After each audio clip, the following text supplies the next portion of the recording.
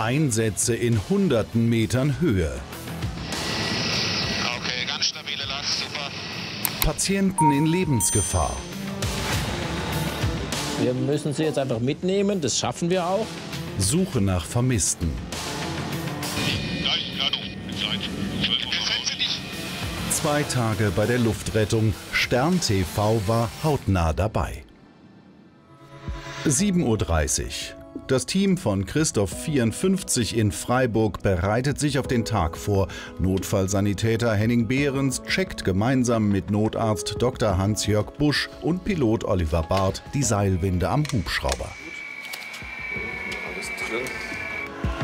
Ab jetzt ist der Helikopter einsatzbereit. Nächster Punkt auf der Tagesordnung, Lagebesprechung beim Frühstück. Doch plötzlich wird das Briefing unterbrochen. Der erste Einsatz steht an. Lotse kommt an Adresse 22 Fraktur und Der Winde, ne? offen bei Baumfellarbeiten, das Ja, ist ein wir machen Winde draus. Ein junger Mann hat sich mitten im Schwarzwald bei Holzarbeiten verletzt. Landen direkt am Unfallort unmöglich. Die Winde wird unmittelbar zum Einsatz kommen. Schnallt sie doch an. Unterwegs nimmt die Crew einen Rettungsspezialisten der Bergwacht auf. Er soll Notarzt Dr. Busch bei der Bergung des Opfers unterstützen.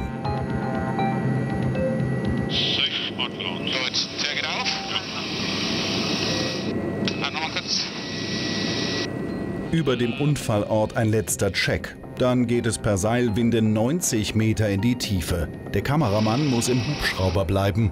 Ab jetzt filmt nur noch die Bodycam vom Notarzt. Okay. Ihr seid soweit? Der Bogen schwingt aus.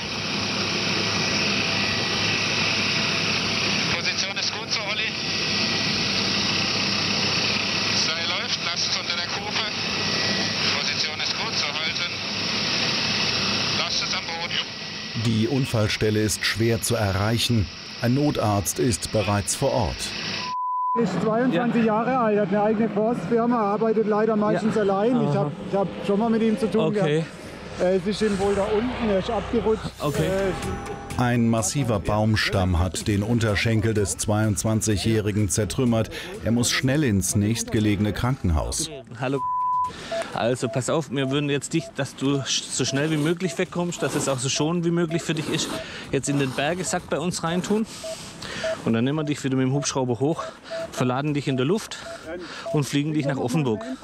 Trotz des schweren Unfalls ist der Waldarbeiter bei vollem Bewusstsein. Hast du denn noch woanders Schmerzen außer da unten? Nein. Gar nichts. Hier oben hast du nirgends was abgekriegt, weil das, die Bäume, die sind, die, sind, die sind so brutal dann, gell? Ich habe nichts abbekommen. Schmerze jetzt? Geht. Aufgrund seiner Verletzung steht der Patient unter Schock. Ich gebe dir noch ein bisschen was gegen die Schmerzen. Ich nehme alles mit. Ich gebe alles.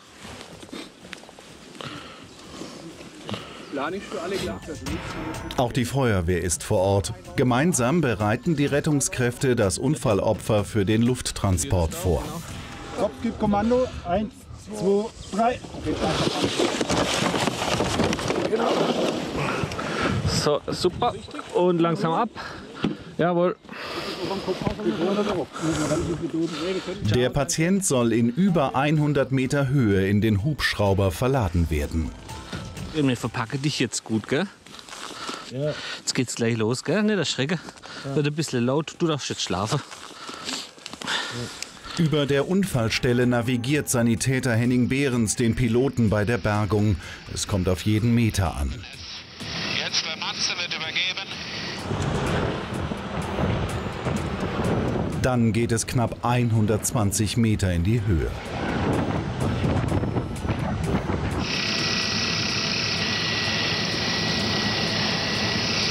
Okay, ganz stabile Last, super. Okay, super. Lasst es über der Kufe.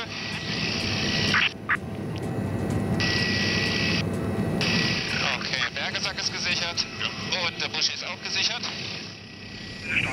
Auf direktem Weg fliegt der Hubschrauber ins knapp 25 Kilometer entfernte Klinikum Offenburg. Nach der Patientenübergabe kehren die Luftretter zur Station zurück. Führerschein repariert werden. Und äh, ja, ich denke, dass es eine, eine gewisse Zeit Krankenhaus braucht, eine gewisse Zeit Reha, dass er dann auch wieder äh, in seinem Beruf arbeitet. Zurück auf der Station. 16.15 Uhr, der nächste Einsatz für die Luftretter. In Neuenburg am Rhein sei ein Mann bei einem Geschäftstermin ohnmächtig geworden. Die Arbeitskollegen des Opfers hatten den Notruf gewählt. Der junge Mann ist kaum bei Bewusstsein. Dr. Busch untersucht den Patienten.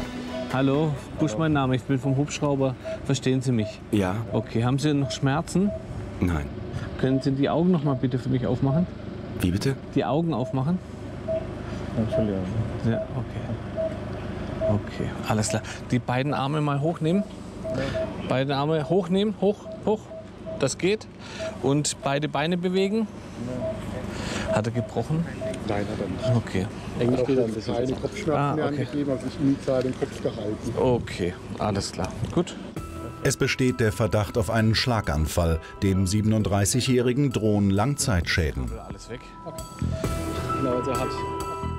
Ich habe gerade eben mit ihm noch geredet. Er kann sich daran erinnern, dass es ihm schwindlig wurde im Ja. Konferenzraum. Äh, danach fehlt ihm alles. Okay. Aber dann haben die Kollegen beobachtet, dass er halt sich an den Kopf gegriffen hat, rausgelaufen ist, auf beide Seiten mehrfach gestürzt ist. Gemeinsam bereiten die Rettungskräfte den Patienten auf den Transport vor. Kopf drei. Eins, zwei. Super. Von Neuenburg fliegt Christoph 54 zurück nach Freiburg. Für die 40 Kilometer Strecke braucht der Hubschrauber nur 10 Minuten. Es ist immer noch nicht klar, aus welchem Grund der Patient ohnmächtig geworden ist. Das könnte für Ursachen sein. Eine davon ist tatsächlich ein Schlaganfall oder eine, eine Magenblutung. Deswegen müssen wir die schlimmen Dinge erstmal ausschließen. Angekommen in der Uniklinik Freiburg bringt Dr. Busch den Patienten in die Notaufnahme. Er ist stabil, er ist jetzt wieder wach und ansprechbar. Ähm, der ohne Vorerkrankung in seinem ähm, Geschäftsmeeting ähm, tatsächlich kurzzeitig bewusstlos gewesen. Dem Patienten drohen bleibende Schäden. Aufgrund des Schlaganfallverdachts führen die Ärzte eine Computertomographie durch. Dr. Busch und sein Team fliegen währenddessen zurück zur Station. Das Schockom-Team übernimmt jetzt die Überwachung, aber auch die, die weitere Diagnostik. Im, ähm, wir haben ein ähm, Zentrum für Notfall- und Rettungsmedizin in der Uniklinik und dort sind die ganzen Spezialisten, die wir brauchen, auch vor Ort. Für die Luftretter war es der letzte Einsatz für diesen Tag. 7.30 Uhr am nächsten Morgen. Heute unterstützen Notarzt Dr. Frank Lerch und Notfallsanitäter Ralf Mewes Pilot Oliver Barth. Das Freiburger Team wechselt regelmäßig aufgrund der hohen Belastung durch die vielen Einsätze. Und auch heute haben die Luftretter wieder viel zu tun.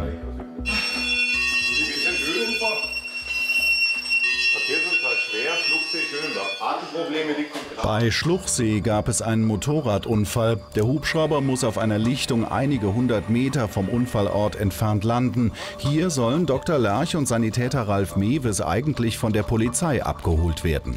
Hier ist Lerch und Christoph 54. Dieses Polizeiauto, was ihr uns entgegengeschickt habt, das ist vorbeigefahren. Bei den Einsätzen kommt es oftmals auf Minuten an. Der Notarzt muss schnellstmöglich zum Unfallort gelangen. Die Luftretter müssen improvisieren. Sie halten ein Privatfahrzeug auf der Straße an. Haben Sie noch drei Plätze frei? Zwei. Zwei. Zwei. Können Sie uns mitnehmen zum Unfall? Und der ist da oben. Ja, genau, da müssen wir hin. Da müssen wir wieder umdrehen. Das passt. Nach zwei Minuten Fahrt trifft das Rettungsteam an der Unfallstelle ein. Hier liegt eine 49-jährige Motorradfahrerin verletzt im Straßengraben. Ihr Ehemann hält den Tropf. Zweite Nationalität, 49 Jahre jung. Ist der Fahrer, Sozius, oben runtergekommen, ins Bankett rein. Ja. Hier geschmissen, sie überschlagen im weichen Beet drin. Die Motorradfahrerin hat sich im Halsbereich verletzt, klagt über Atemprobleme. Das Schweizer Ehepaar war auf einer Motorradtour unterwegs zum Titisee. Ja, ich mache mir sicher Sorgen, ist meine Frau. Ein Transport per Hubschrauber ist nicht nötig. Nach erster Erkenntnis hat die Patientin keine schweren Verletzungen davongetragen. Damit wurde die Patientin als nicht kritisch quasi klassifiziert und geht jetzt bodengebunden ins nächste geeignete Krankenhaus, weil, so wie ich es höre, wir jetzt schon den nächsten Einsatz wieder haben.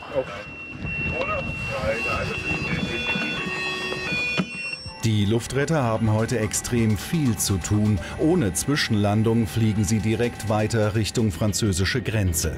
Auf dem Weg nimmt der Hubschrauber noch einen Rettungsspezialisten auf. Jawohl, Takeoff. Geht los. Bei Griesheim ist ein Kanu im Rhein gekentert. Drei Personen werden vermisst, befinden sich aufgrund der starken Strömung in Lebensgefahr. Auf der Suche nach ihnen fliegen die Luftretter den Rhein ab. Da ist ein Kanu. In Zeit. 12 Uhr voraus. Noch immer keine Spur der gekenterten Personen. Der Rhein hat Hochwasser. Die Vermissten drohen zu ertrinken. 15 Minuten dauert die erfolglose Suche jetzt schon an. Ich geh mal runter und ich mach die Tür auf. Tür geht auf. Die Lage spitzt sich zu. Selbst nach mehrmaligem Abfliegen des Flusslaufs können die Vermissten nicht gefunden werden.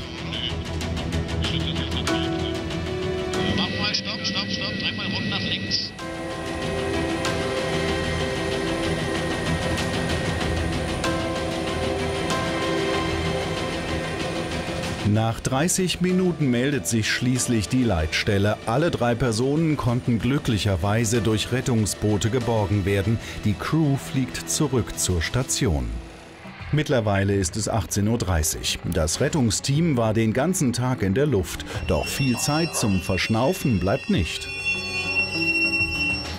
Mit der Patientin, eine ältere Patientin, die gestürzt ist. Die hat jetzt eine, eine Skalpierungsverletzung und vor allem eine Denzfraktur, also ein ganz der oberste Halswirbel, ganz oben, der ist gebrochen. Und die muss dringend in, die, in eine andere Klinik. Das ist eine, eine Sekundärverlegung, also eine Intensivverlegung. Die Patientin hat einen Genickbruch erlitten. Nach ihrem lebensgefährlichen Sturz liegt die 89-Jährige in der Notaufnahme in Tuttlingen. Zur weiteren Behandlung soll sie nach Singen gebracht werden.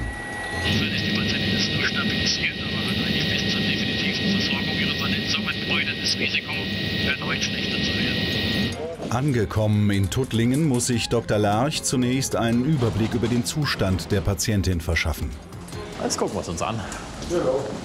Hallo, guten Tag. Lerch, hallo. Guten Tag. Nicht erschrecken. Wir sind vom Hubschrauber, Frau Hören uns an und dann bringen wir sie nach Singen, gell? Aufgrund einer geschädigten Wirbelsäule hat die 89-Jährige sehr empfindliche Knochen. Aus diesem Grund ist der Transport für sie besonders riskant. Passen Sie auf, wir müssen Sie jetzt einfach mitnehmen. Das schaffen wir auch. Wir haben sie auch bei uns dann an der Überwachung. Auch das schaffen wir. Was wir aber machen wollen, ist mit so einer speziellen Hilfe Sie rüberlegen. Um weitere Schäden zu vermeiden, wird der Hals der Frau gestützt. Jede falsche Bewegung kann jetzt lebensbedrohlich sein.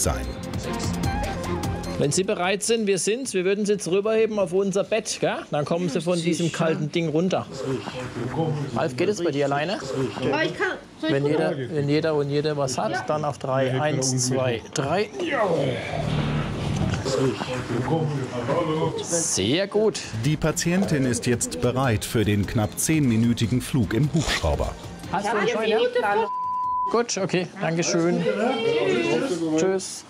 Tschüss. Danke für alles. Gerne. Von Tuttlingen fliegt der Hubschrauber knapp 40 Kilometer Richtung Schweizer Grenze nach Singen. Hier wird die Patientin operiert. Zehn Einsätze an zwei Tagen. Christoph 54 war nahezu pausenlos in der Luft. Für heute ist Schluss für die Luftretter.